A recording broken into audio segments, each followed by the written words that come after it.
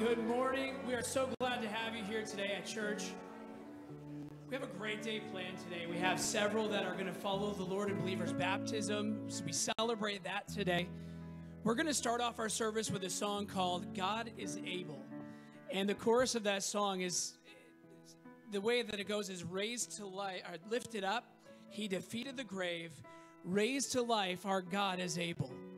And at the end of the service, as we celebrate our baptisms today, that's the picture of what is taking place. Lifted up, he defeated the grave and raised to life. And we, as believers, are raised to walk in newness of life. The Bible says in Ephesians chapter 3, verses 20 through 21, you can stand as we get ready to sing. Now, unto him that is able to do exceeding abundantly above all that we ask or think, according to the power that worketh in us. Unto him be glory in the church by Christ Jesus throughout, throughout all ages world without end. Amen. Let's lift our voices together as we sing God is able.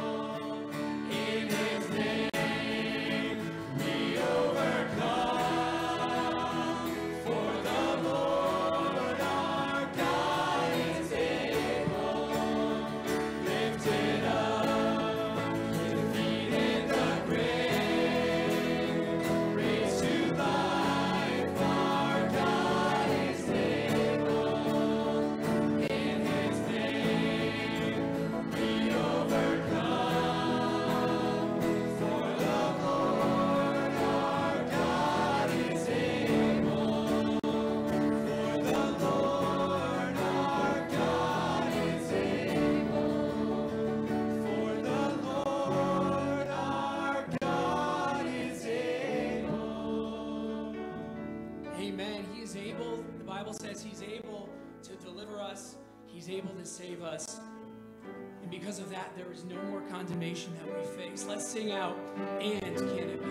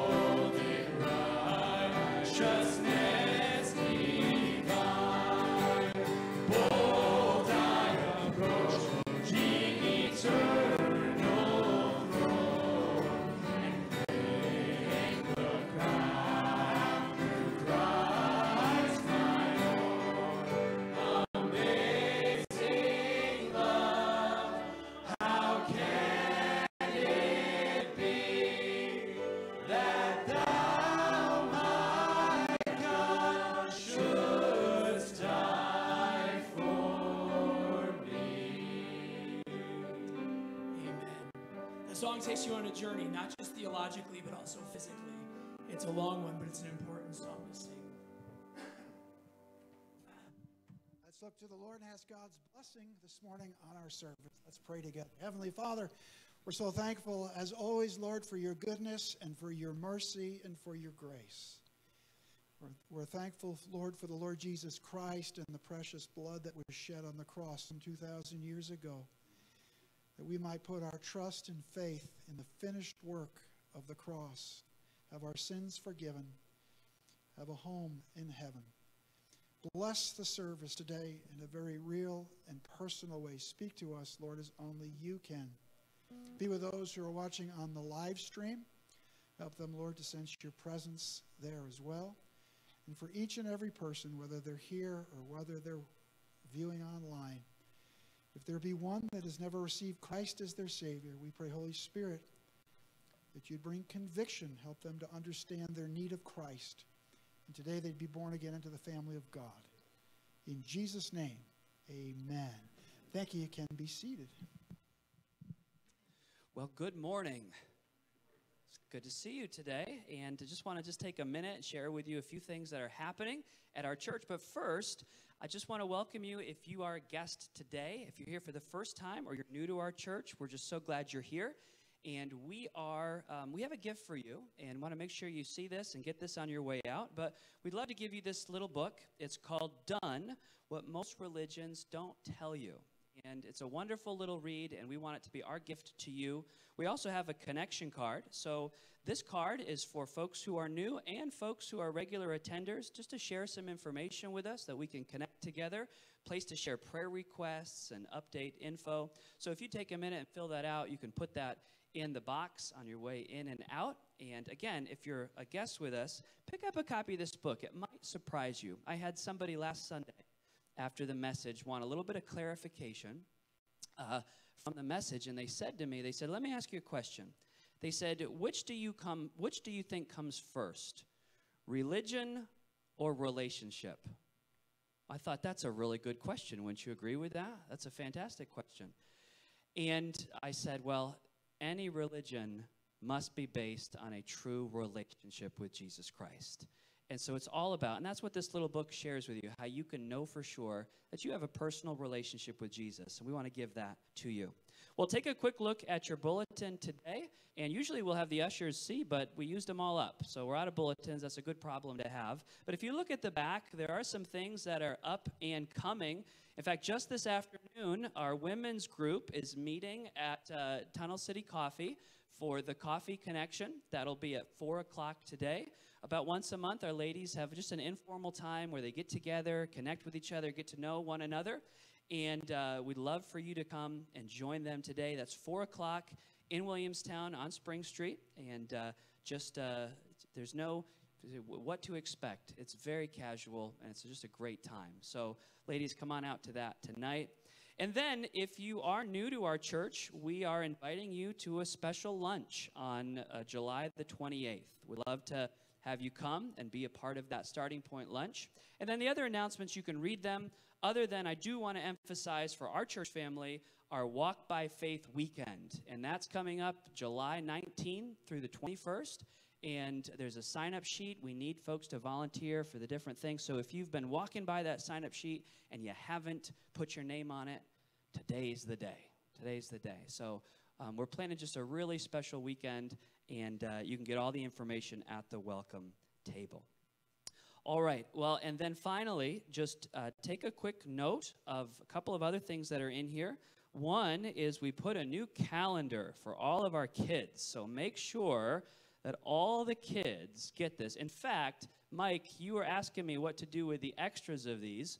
When all the kids dismiss to junior church, let's make sure we give them a calendar for the summer events on Wednesday night. We've got an awesome kids club every Wednesday night, and so we've got all of the events on here.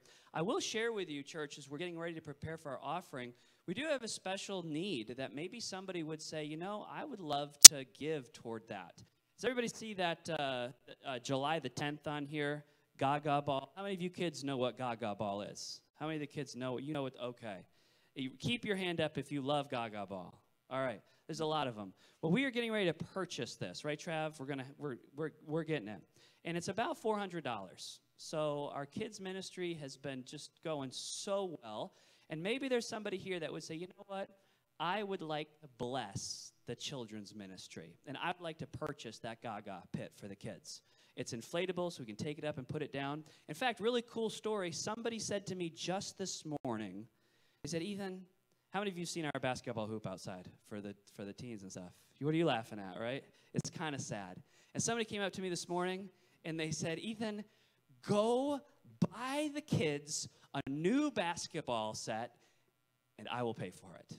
I was like, all right, that is awesome. So that's going to be, that's coming too. So Wednesday nights, we have fun and then we build spiritual truths into kids' hearts. And so the, the uh, it's a combination of fun and activities and spiritual formation, teaching the Bible. So those are just a couple of needs, and maybe maybe Lord will speak to your heart and say, you know what, I'll take, I'll, I'll buy that Gaga pit. Just putting it out there. Maybe the Lord would would speak to you in that regard. And then make note of our missionaries of the week, our friends, the Giltners in Tokyo. You've got a letter right there that you can take a look at. And of course, all of our missions giving goes to support all these missionaries that you see on the back of here. And we're just so thrilled that we can partner with them for missions. So, those are some updates. We're going to take a minute now and ask God to bless our giving today.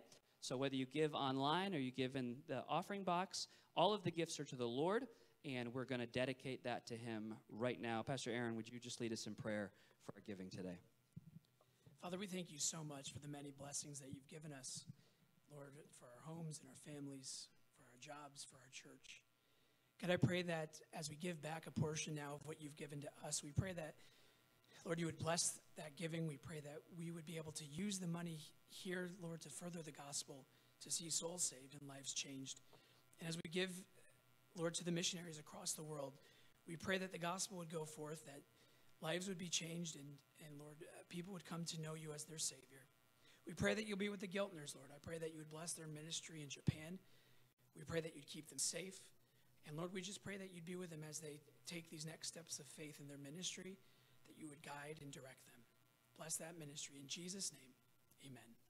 Let's stand together one more time as we sing Living Hope.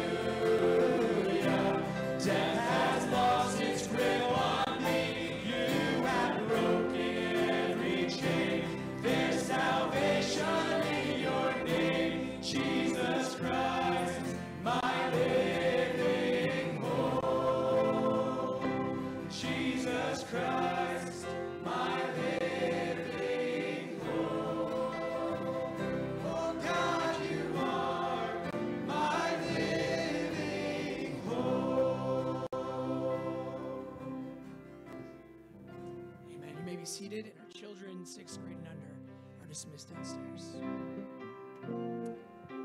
All right. Mr. Michael, get you that calendar, boys and girls. You want to not miss that on your way. All right. Let's take our Bibles today and we'll find the Gospel of Matthew. Matthew chapter number 22 this morning. And um, if you are newer to our church, we've been working our way through the Gospel of Matthew.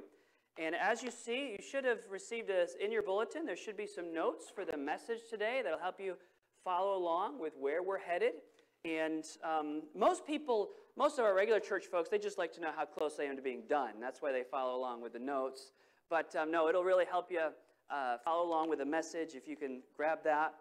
So we've been working through Matthew, and a lot of people will look at books of the Bible and they'll look at events or the stories in Matthew, Mark, Luke, or John, and they'll kind of view them as like uh, disconnected events. But we need to read it as the whole book is teaching us something, it's bringing us somewhere. And the great theme of the book of Matthew is the kingdom.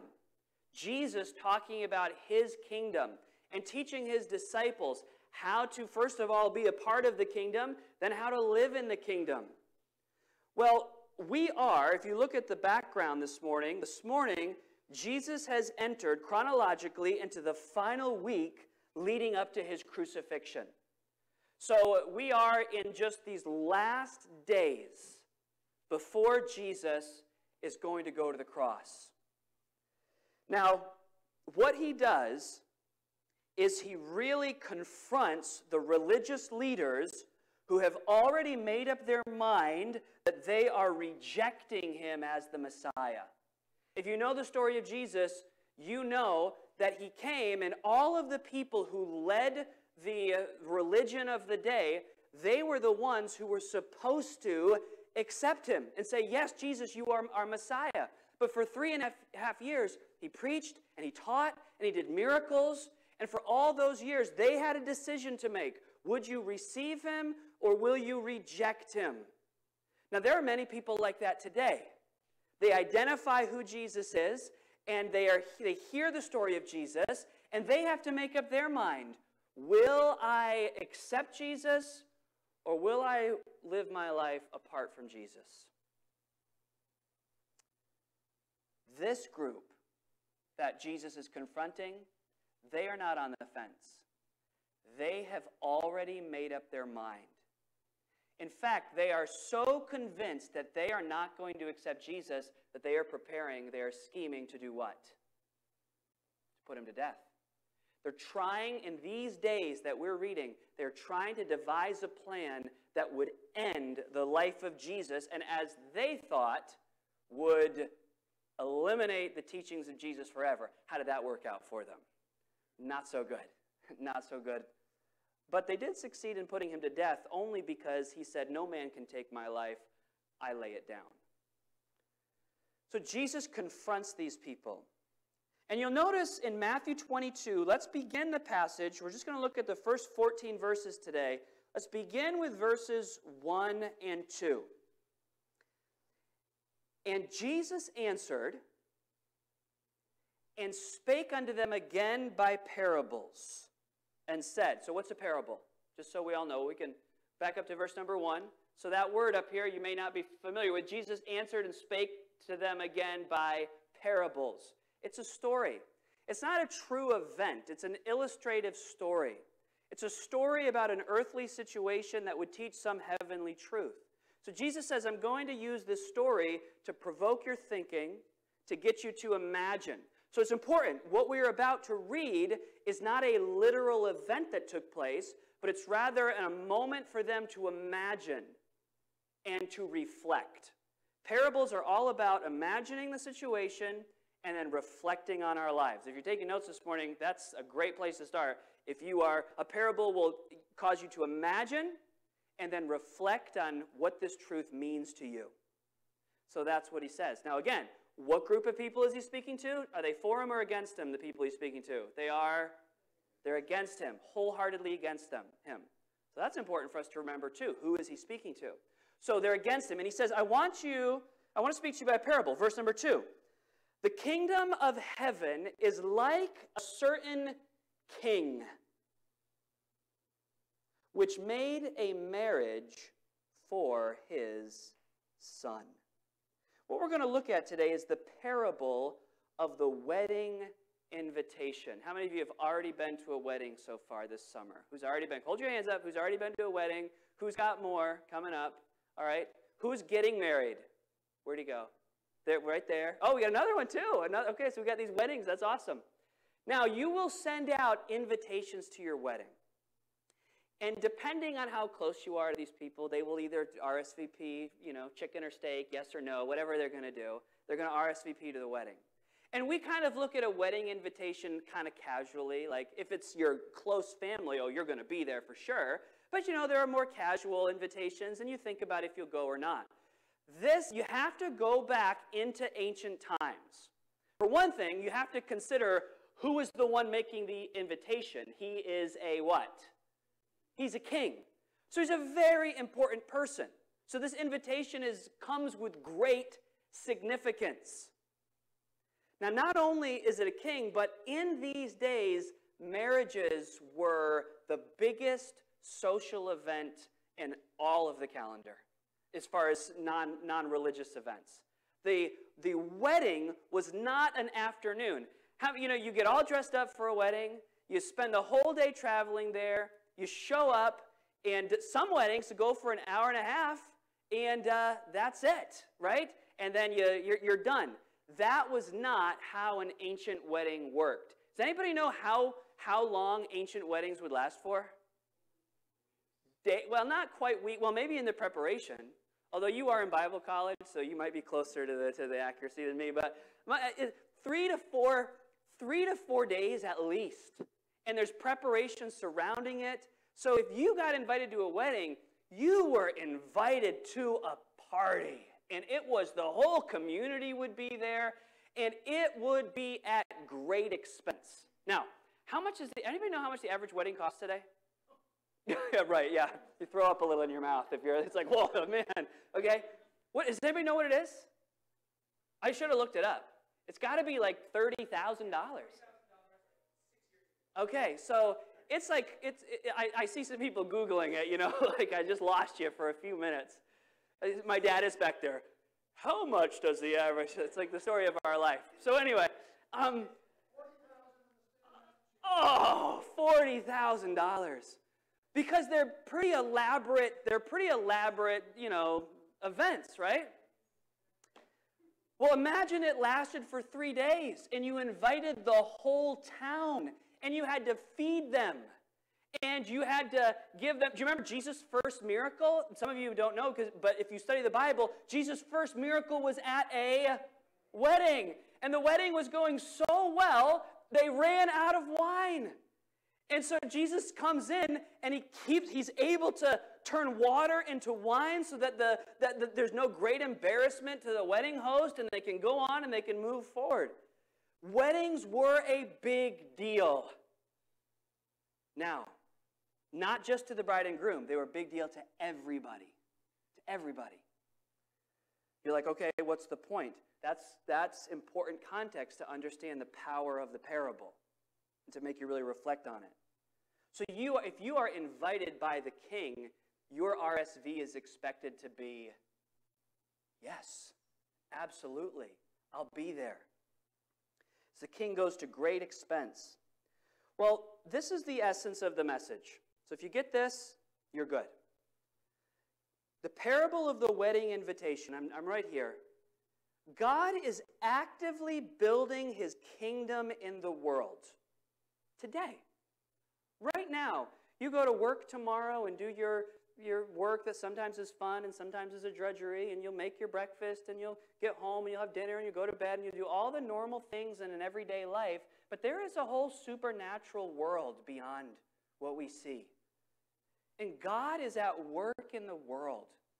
God is building his kingdom. That's why he sent Jesus. That's why he's established the church. That's why the Holy Spirit lives in the heart of every believer because God is accomplishing his work. And when you and I, when we go through the mundane exercises of our lives, we need to remember that God is doing something, that God is active. And as small a task, as mundane as your day may be, you should be in tune with God and say, God, what are you trying to show me? What are you, what are you, what are you trying to teach me? God is actively building his kingdom in this world, and we are going to a destination. There is, the history is not a big circle. A lot of people in, in modern historical thought, they view history as a, a circle that we just go through and it repeats and it repeats. There is some truth to history repeating itself, but the Bible gives us God's plan for history. It is not a circle, it's a line. It's, li- it's linear. It's going in a direction, and it is going to God's eternal kingdom. And do you know what the great event that kicks off God's eternal kingdom is? Does anybody know what it is? It's a marriage, it's a wedding. Some of you may be familiar with the book of Revelation. People get like, like ooh, Revelation, you know, the, the horsemen and the future stuff and all of that. Well, this wedding symbolism is all throughout the Bible, but I want you to read just a few verses. We, we put them on the screen. It's Revelation 19 and verses 6 through 8. This is the picture of where everything is going. Revelation 19, 6 through 8. This is the end. This is when God sets up his eternal kingdom. It says, I heard as it were the voice of a great multitude the voice of many waters, as the voice of mighty thunderings, saying, Why don't you do it with me? Because we can be like a voice of many thunderings, but you got to thunder it, okay? Who's ready? You ready to thunder? Okay, here we go. The voice of mighty thunderings, thunder, I can't even say it. The voice of many thundering saying, Hallelujah. Hallelujah, for the Lord God omnipotent reigneth. There's going to be a, we sang really well today, but there's going to be a worship service in the future that is just going to blow you away and multitudes crying, Alleluia, for the Lord God omnipotent reigneth. Verse number seven. Let us be glad and rejoice and give honor to him, for the, say it with me, the marriage of the Lamb is come, and his wife hath made herself ready. That is the day that the church is presented to Jesus as the bride of Christ. It's a beautiful picture that we, as the people of God of this day, will come to Jesus at, this, at the beginning of his kingdom, and we are the beautiful bride of Christ. Don't worry, guys, there's lots of masculine imagery for the church too, but for this morning, we're going to be the bride of Christ. We're warriors for God another day, all right? Today, we're the bride of Christ. It's a beautiful picture. His wife hath made herself ready, and then verse number 8 and to her was granted that she should be arrayed in a beautiful wedding gown, clean and white. Now, we're not really wearing linen dresses, it's, it's symbolism. It symbolizes what? The fine linen is the righteousness of the saints, that we will be presented to God as holy and righteous, and we will be part of his eternal kingdom forever. So, what am I saying? I'm saying, hey, everyone, that's where this is going. That's where human history is moving. And as difficult as it is for us to understand, I, I get it. It's hard to understand in a messy world with normal function, like that there could be something so eternal, but isn't that what our hearts long for? Isn't that what we desire? Something that transcends all of this? Something that's greater than all of this? Why do you think our hearts hunger for it? Our hearts hunger for it because we were made for something more. Why do we, why do we, why do we sorrow so much over death? Because we were not created for death. We were created for life. We were created for eternal life with God. That is our purpose, to know God. So Jesus is introducing this idea of the wedding. And in this chapter, back in Matthew 22, Jesus explains God's generous invitation to his eternal celebration. Everyone is invited. Well, let me show you this first. If you could put up verse 14 from Matthew, Matthew 22. This is, this is, I gave you the opening verse, and I'm going to give you the last verse. This is where Jesus is going to finish his story. Let's read this out loud together. Ready, begin. For many are called, but few are chosen. That word called, let's substitute it. Let's, let's use the word invited, because that's the idea. Ready? For many are invited, but few are chosen. What I want you to get this morning, with the rest of the time I have left, is that God has extended a gracious invitation to all of us. Every human being is invited to enjoy God's eternal celebration. Many are called, but there are few who respond to his invitation. There are few that are chosen. So the key question this morning is this How will you respond to God's invitation? Or how have you responded to God's invitation? Some of the people that we said Jesus tells the story to, they have already made up their mind. And they're not planning on attending. And so he uses this story to make them think and to challenge them. So let, let me just work you through three, three simple movements in this passage. So if you turn over your notes, number one here, the king gives a special invitation. The king gives a special invitation. Verse 1 again Jesus answered, spake to them by parables, The kingdom of heaven is like unto a certain king which made a marriage for his son. Now, verse 3, the invitations go out. He sent his servants to call or invite them that were bidden to the wedding. Hey, I've got a special invitation. You've been invited. Here it is. It has got the seal of the king. They open it up. And instead of being excited and instead of saying, When's the wedding? When, will we, when can we come? They open it and they say, Meh. Eh. Don't think I'll be there. Don't think I'll be there. So again, to us, we're like, okay, they refused the invitation. Put it in its cultural context. It's like, what? You're not coming? No, not coming. Verse number four, again, he sent forth other servants, and he said, Tell them, tell them which are bidden, Behold, I have prepared my dinner. The food is all ready. You can't not come. Could you imagine that? Putting on a party and they don't, and they just don't come? Anybody, don't, don't raise your hand because it's bringing up painful memories. But you spent the money, you put the event on. This is like a pastor's worst nightmare every time they plan a Walk by Faith Christian Life weekend. Just putting that out there. Like, we're due the weekend, and are they going to come? Right? You know, you're like, you're like, um, that was selfish of me. I'm back on the message here, okay? So, but you put out the invitation, and the king says, What do you mean they're not going to come? I've made everything. I killed the oxen and the, and the fatted calf. The dinner is ready. I've set the table. All things are ready. I love that line right there. That, could you say that line with me? All things are ready. It's all ready. All you have to do is come. It's a special invitation, but it is an invitation by grace. It's an invitation to a celebration for one thing. Isn't it amazing how so many people are just scared to give their lives to God? They're just scared. They're like, oh, if I start going to church and if I read my Bible and if I do the Christian thing, I might turn into a weirdo. Anybody know any weirdo Christians out there? You know, not helping us out a little bit? I might turn into a weirdo. Or what will people think of me? Or my life is going to be so boring. You know, I'll just go to church and pray, and, you know, it just, sounds so boring. That is a lie of the devil because God has invited us to join a life of celebration. It's a wedding, it's joy, it's life. Jesus said, I have come to give them life and come to give them life more abundant. The devil wants you to think Christians have no fun, Christians are weirdos. Christians are. How many of you, you used to think Christians were weirdos? Come on now. Hold them up. Hold those hands up. You used to think Christians are weird. All right, and now you're one of them. So, anyway, um, yeah. You, you, you, everybody's got that friend. They're like, yeah, those, he's a born again now. You know, you, you know what we're saying? That's how our culture perceives it. And then how many of you could say amen to when you found your life in Jesus, it was beyond your wildest expectations? I mean, it's just so good to know the Lord. He's not invited. And there are some Christians, they just get sour too.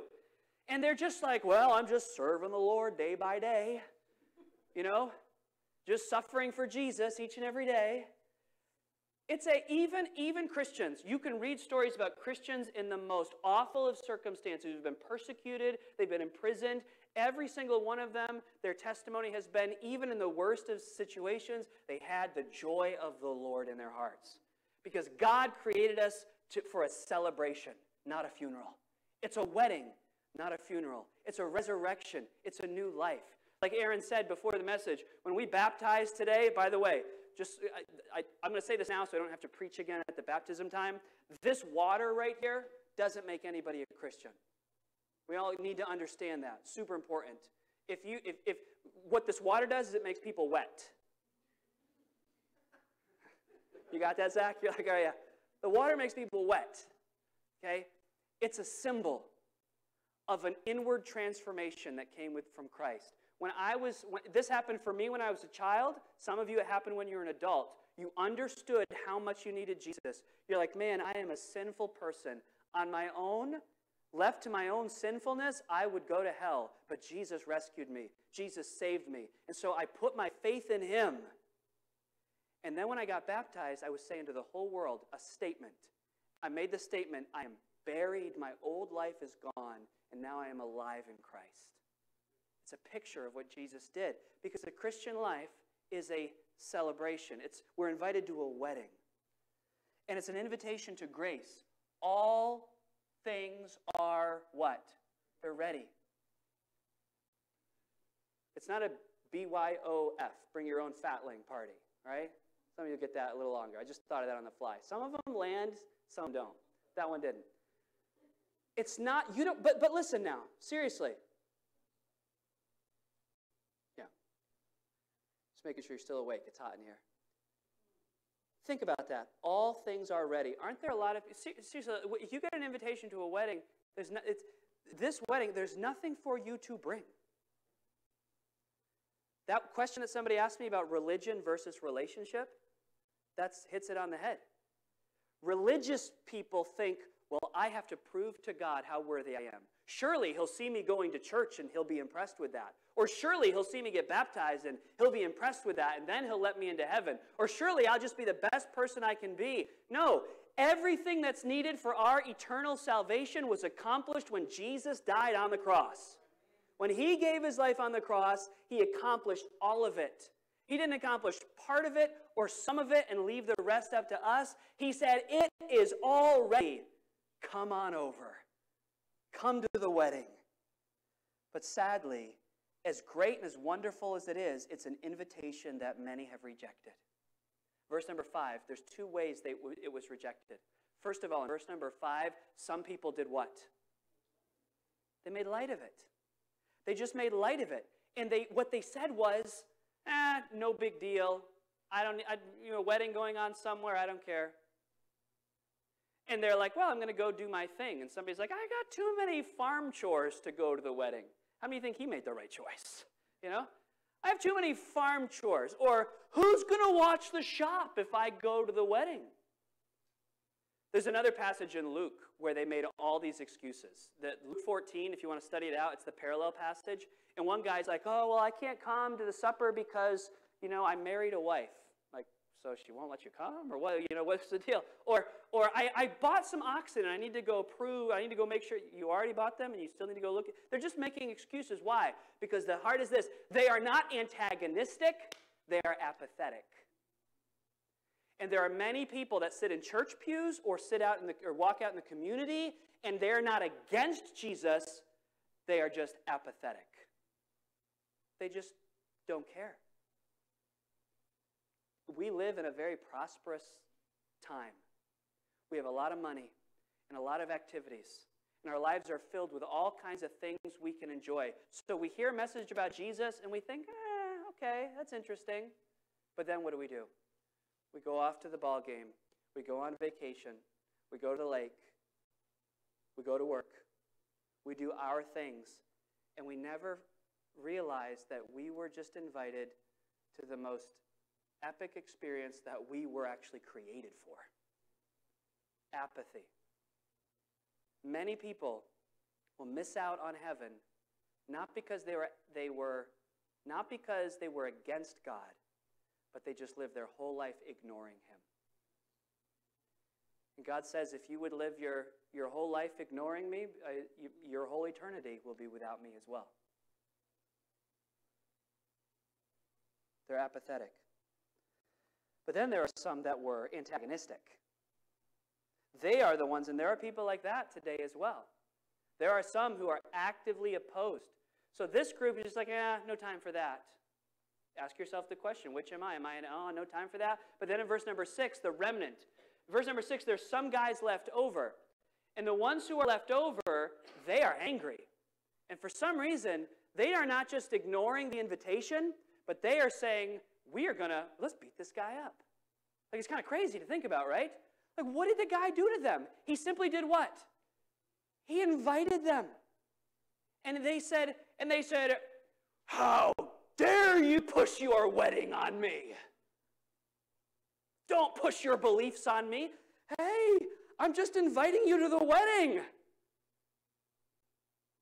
And they got angry. And they, remember, it's a story, right? So they beat the guy, the, the servants. And then it escalated so much that they killed them. They murdered them. What is Jesus predicting with the story right now? his death, and the martyrdom of most of the apostles. That all the, all the, and this has been the story. Fortunately, we live in, in, in a wonderful country blessed by God where we have such religious freedom. But this is the story of many Christians in other parts of the world down through the centuries, where they are a witness in a hostile environment where they simply give a message of love and say, if you will trust in Jesus, you're invited and there's this hatred in the world in some places against Jesus. Jesus is predict, predicting this right here. That's what this is about. Now, this moves us to the second part. This will be a short part. The king is, is obviously angry with these people. And what you're looking at in verses 7 through 8 is the special judgment for all of those who are actively against the work of Christ. There is a judgment that all will face for our sins if we don't know Jesus as our Savior. But there is a special judgment for those who would try to stop the message of Christ. And Jesus says that in this that there's a righteous anger that the king has in verses 7 and 8. When the king heard thereof, he was wroth, he's angry, and he sends forth his armies and destroyed those murderers and burned up their city. And he said to his servants, The wedding is ready, but they which were bidden were not worthy. These words of Jesus are pointed directly at those religious leaders in his day. They're the ones he's talking to. And he's like, hey, you guys are the Jewish leaders. If you know the story of Jesus, he said that the gospel was first going to go to what group? Jesus said the gospel has to first be preached to who? The Jews, and then to the Gentiles. because the, the historical story of God was the Jews were God's chosen people, but then God had a plan through the Jews to save the world. But the order of God's plan was first it would be presented to Israel. And he's saying, You were given the first invitation. You were the ones given that first special invitation, but you've rejected it. I can't help but think in a similar way of the, the, the, greatest danger of judgment is not for people who don't know the message of Jesus. The greatest, the people that are in the greatest danger of judgment are people who know the message of Jesus and reject it. That's the greatest judgment. Jesus said, To whom much is given, much is required. He says, You weren't worthy. You weren't worthy of it. Now, that is interesting. What makes someone worthy? Well, let's finish with this last section. So now, the king goes from a special invitation to his first guests who reject to now he makes an open invitation. Look at what happens in verse number 9. Verse number 9 Go ye therefore. Hey, servants, I want you to go out where? Into the highways. And as many people as you can find, bid invite them. Well, who's on the guest list? Everybody. The people that I first was invited, the people I first invited, they're not worthy, I guess. So let's just go invite everyone. This is predicting what happened after Jesus' death and resurrection, that the gospel went not just to Jerusalem, but it went to the whole world. And today, we, ladies and gentlemen, are the ones standing out in the, we're in the highways. In Luke's account, it says the highways and hedges and compel them to come in. Go out and find the people that are out there. And so, verse number 10, those servants, they went out into the highways and they gathered together as many as they found, both bad and good. It's interesting. There was no test that they had to take to get the invitation.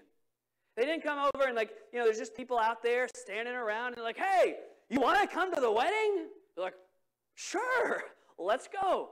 And over there, and some of them were great, upstanding people. Some of them were kind of questionable characters. Sounds like a local church to me, right? There's all kinds of people, both bad and good.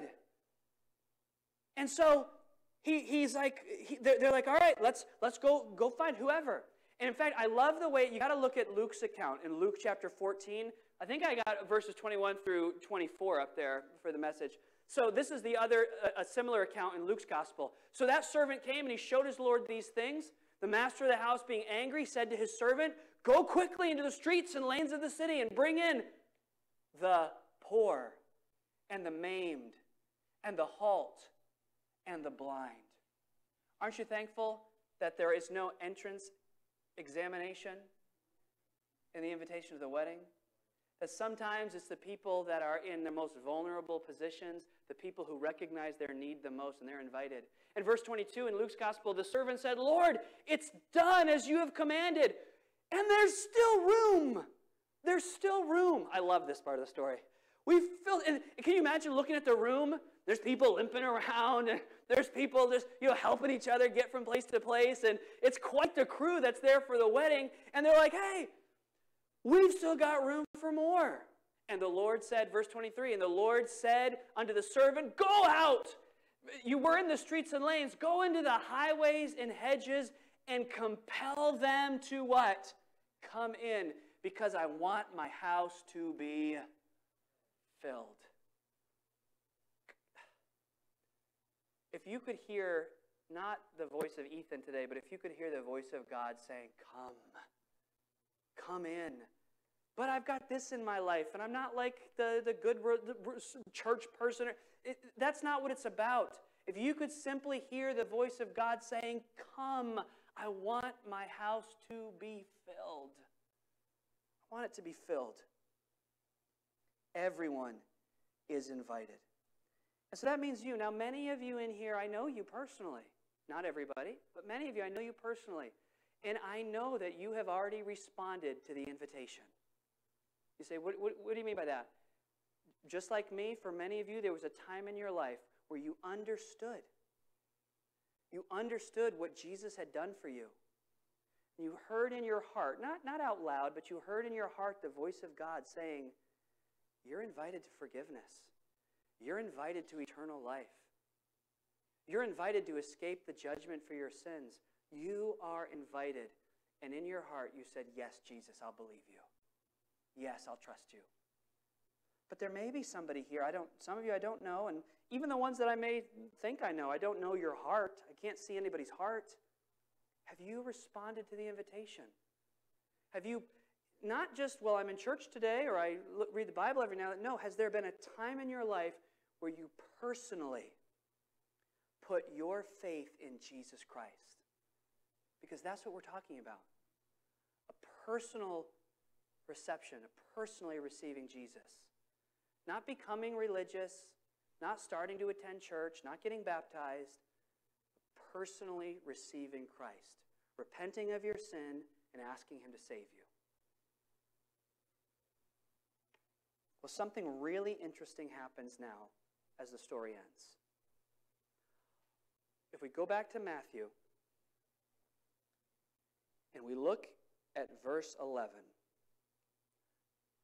the house is filled and the wedding is about to start. And the king looks at all the guests. And remember, there's all kinds of people there poor, rich, good, bad, healthy, sick. But there's one thing that the king is looking for he's looking for them to be dressed for the wedding. Again, this is figurative, so you got to kind of put your imagination out with me.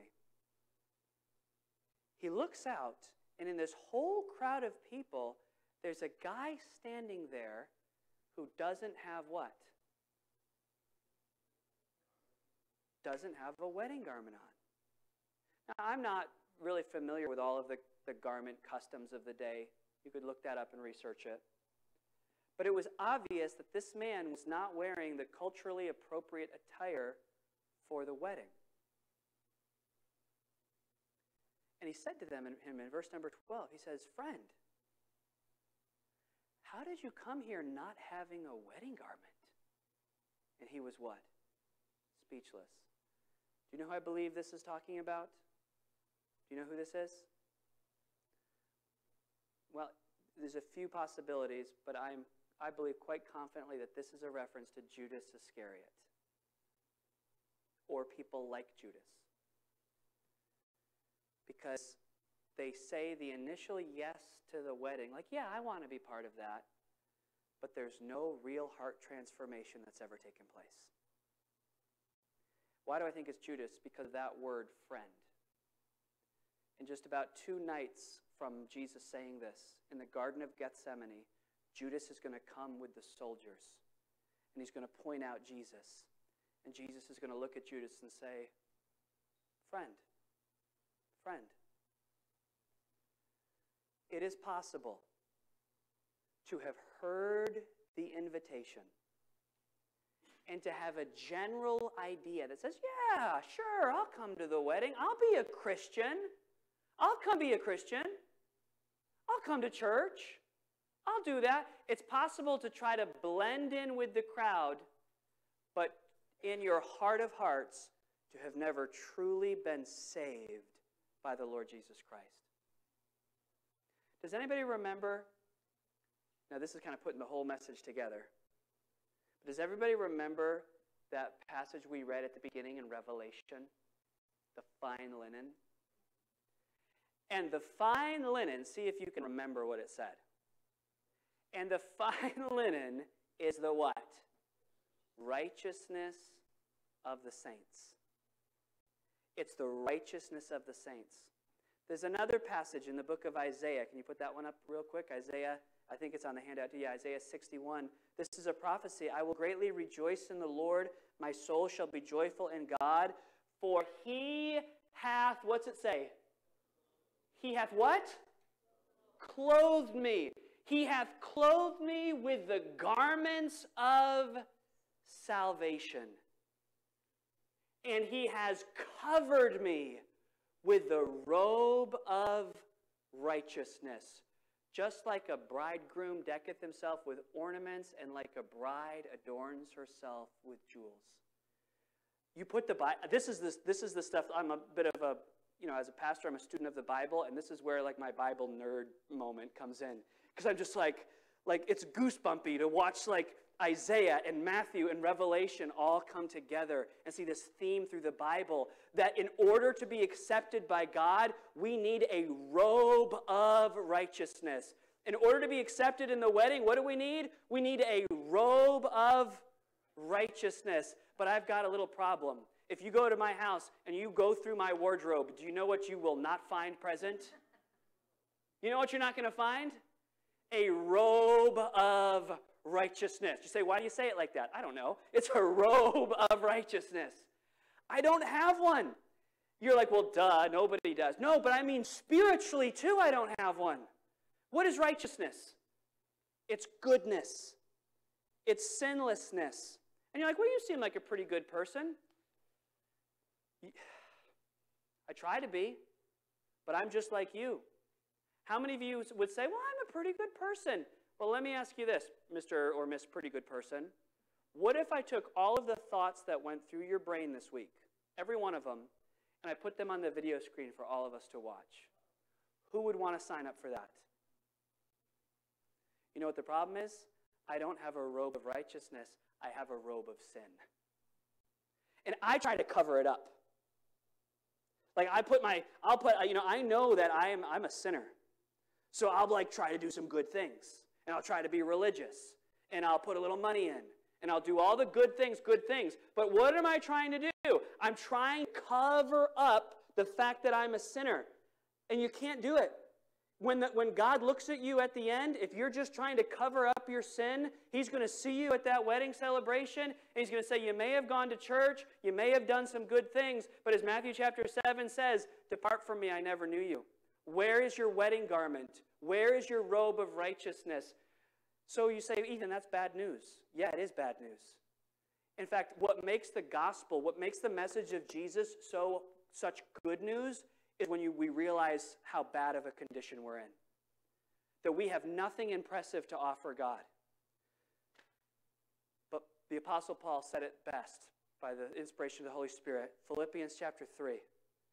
Philippians chapter 3. Can you put that up, kid? Because this verse. Paul said this, and Paul used to be a Pharisee, by the way. Those bad guys that rejected Christ, Paul used to be one.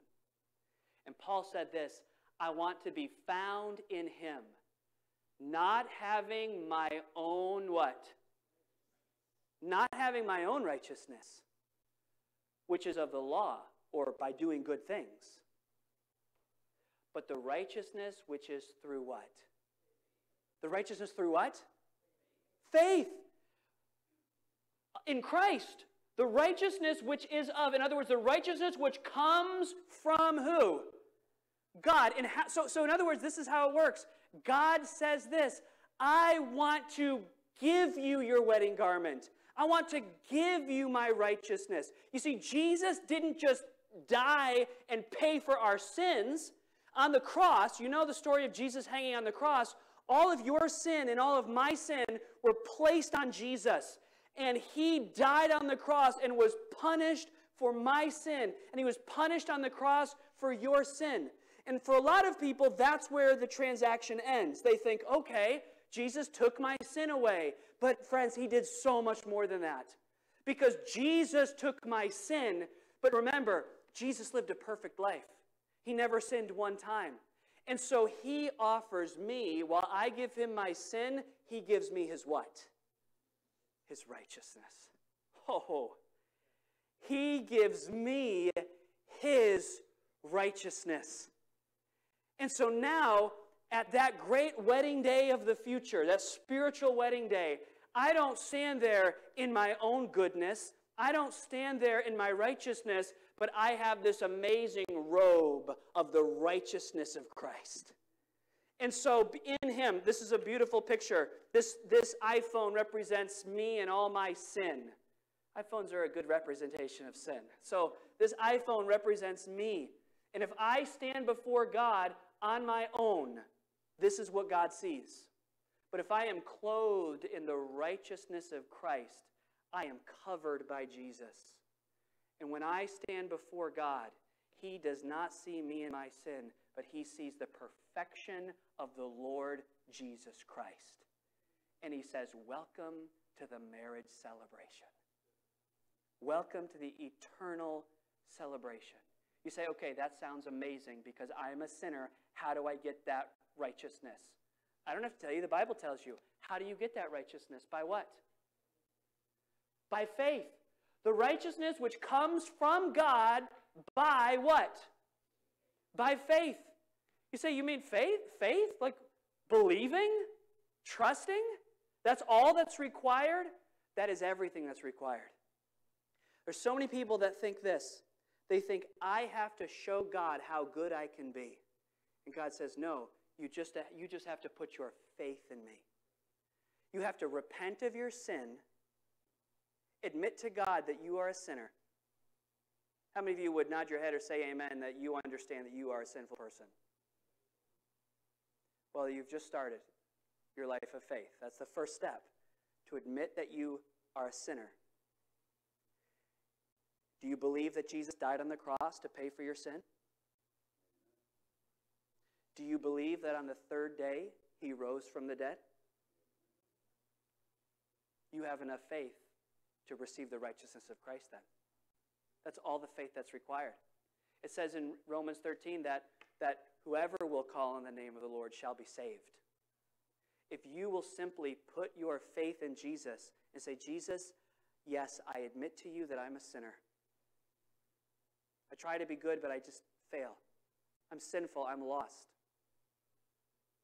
And then if you will tell him that you believe that his death paid for your sin and he rose from the dead, that you believe that in your heart, the Bible says that if you'll confess with your mouth, Romans 10, 10 9, if you will confess with your mouth the Lord Jesus, and if you will believe in your heart that God has raised him from the dead, you will be saved. And that's saying yes to the wedding invitation. That's saying yes to the wedding invitation. But you remember that last verse? Many are called, few are chosen. Many are called, but few are chosen. There are many people, they insist on doing it their own way. You say, but it's so easy. All you have to do is believe in Christ. It's so easy, but it's so hard because it requires humility. It requires us to admit to God that we are not what we need to be. If you've never made that decision, you can make it this morning. We're going to have a prayer time right now. So I'm going to invite you to please just bow your heads and close your eyes. If you're one of the folks that's going to be baptized today, you can just walk out the back as the rest of us have a prayer time.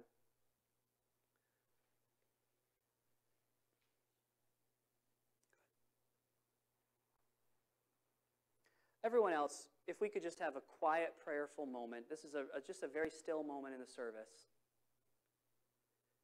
How many of you would say, Pastor Ethan, I am positive?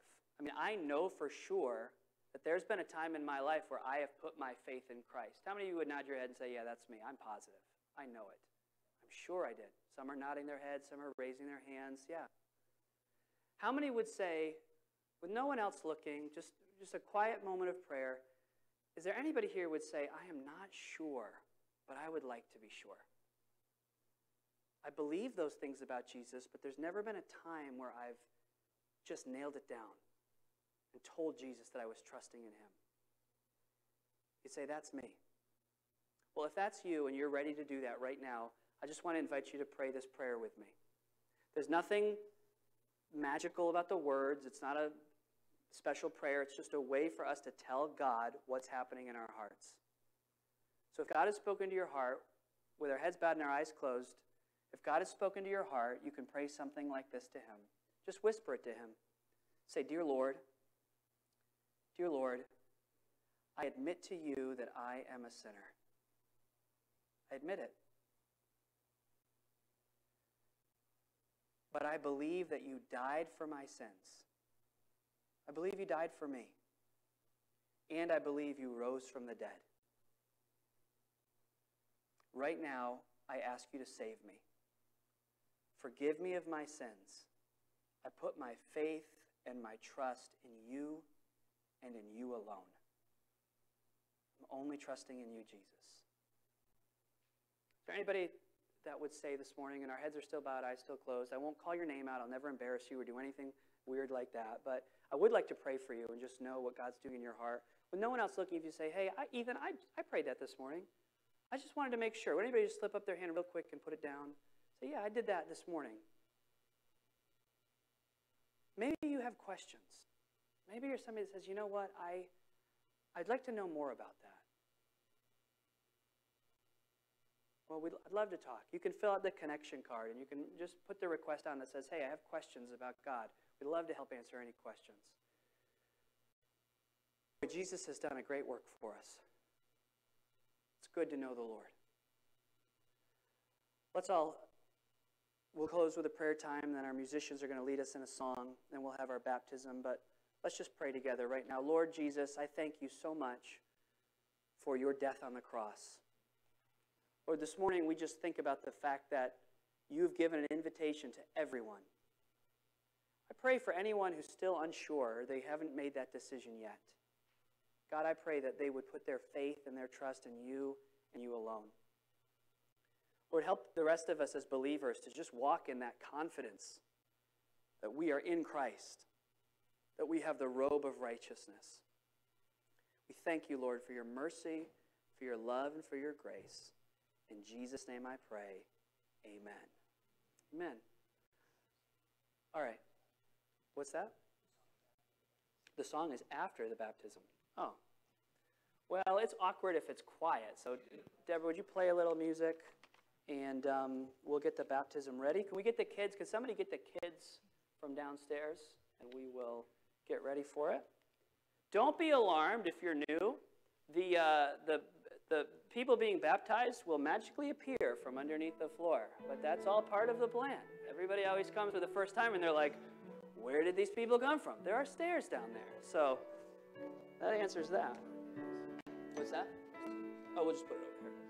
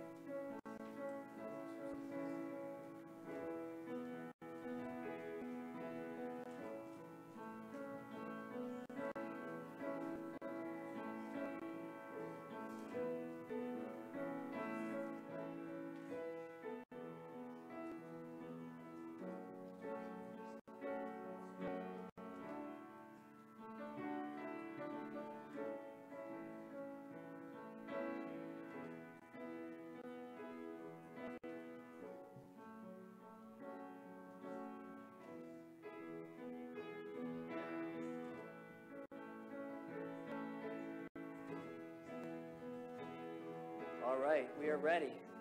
Come on up, bud. All right, I'm really excited about all of these baptisms. Come on, right up here. Here, give me your hand. Right around. This is my son, Nehemiah. So, Nehemiah is 12 years old, and when he heard we were having a baptism, he said, Dad, I want to get baptized on July, uh, June the 30th. So, we said we can do that. Nehemiah trusted Jesus as his Savior several years ago and has waited to make this decision for baptism. So we're so excited for him.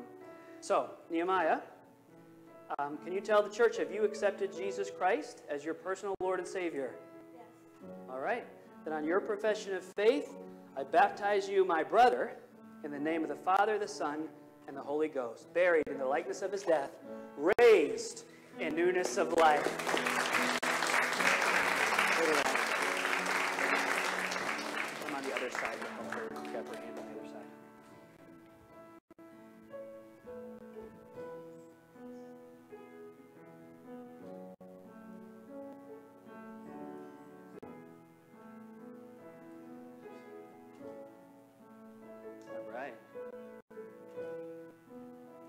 Have grown substantially now. For, so come walk right around and just step right in here. Grab sign so you don't slip. Yep. This is Oliver. And several weeks ago, Oliver reached out to me and said uh, he indicated he'd like to be baptized. And um, we went, we met, we had coffee, and I asked him about his faith, and he's like, he gave me the most succinct answer I'd ever heard. He's like, I believe he died for me to pay for my sins, and he rose again. I'm trusting him. I was like, that's pretty much how you said it, right? So, Oliver, have you uh, placed your faith in Jesus Christ as your Lord and Savior?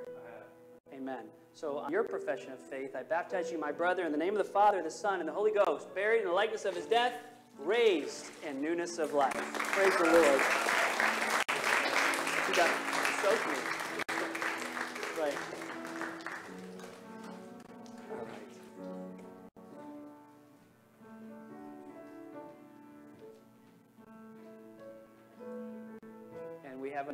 Special one. I got a text message this week, and it was from Aliciana, Oliver's mom. And come on in right here, step right over here. Yep. What's that? Good, good. So Aliciana has been attending church for the last couple of months, and uh, she said that uh, Oliver, with Oliver getting baptized, she'd been waiting for that because she wanted to take this step uh, together with her son. And so we met and talked about faith in Jesus. And Aliciana, have you received Jesus Christ as your personal Lord and Savior? Amen. Then on your profession of faith, my sister, I baptize you in the name of the Father, the Son, and the Holy Ghost, buried the likeness of his death, raised in newness of life. Right this way. It's slippery, so Let's stand together as we get ready to sing God is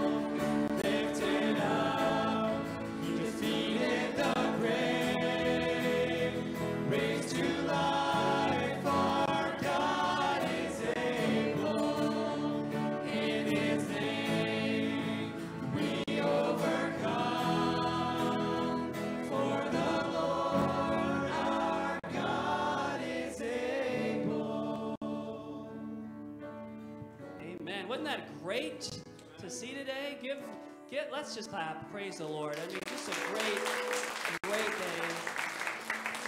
And uh, you know what's exciting that God's been doing in our church is I look out and there are many that uh, have made decisions or that God's working in their heart because somebody here invited them to come and be a part. So let's just keep praying for God to keep working in our church. As we leave today, don't forget some events happening. Tonight is the uh, coffee connection for the ladies at 4 o'clock this afternoon. And then I almost forgot, there is no service this Wednesday night. So there, with the 4th of July celebrations, we will not have Wednesday night service this week, um, but we'll be back in our red, regular schedule the week following. And if you did make a decision today or you have a prayer request, don't forget to fill out the connection card. And then for um, our guests, please pick up a copy of this book. We'd love for you to have it. Micah Hare is going to come and he's going to dismiss us with a word of prayer this morning. Let's pray. Father, thank you so much for this service. Thank you for your grace, your mercy, that salvation. Uh, Lord, thank you for baptisms today. Just those who are choosing to announce that they have chosen that invitation, Lord, and they are coming to that wedding banquet. Lord, thank you uh, for this church. Lord, we just pray that for those who have not uh, chosen to come to the banquet, Lord, that you would just convict them, Lord, that they would not rest until they have made that decision to come to the faith in you, Lord. Uh, bless our time as we live here today, Lord, until we come and meet again. Keep us safe. In Jesus' name I pray. Amen.